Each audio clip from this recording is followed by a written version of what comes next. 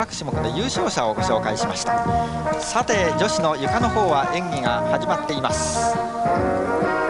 ソビエトのジーナ・コチェトコワ選手です。今日は段違いと平均台に優勝しています。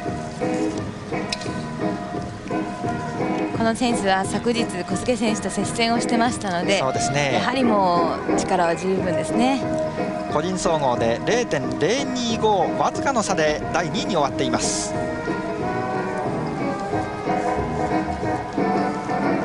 非常に小柄な選手なんですけれどもこういう表現力がものすごくいいですね。そうですね、はい、ジュニアの大会ですから、ええ、あの割と自分にこもりがちな演技をする中この選手はもう見せ見せる演技をしてますね。なるほどね14歳で137センチです。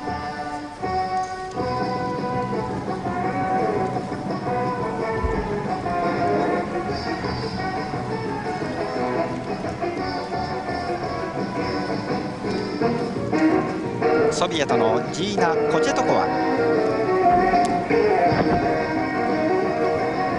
最後のフィニッシュは2回宙返りでしたね。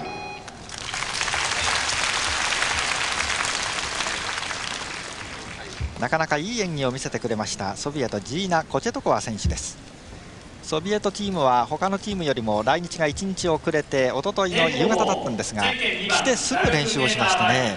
もうこの大会に備えてましたね、まあ、の政変などがありましていろいろ揺れ動いているソビエトですがしかし選手たちの意気込みは変わっていないようですね。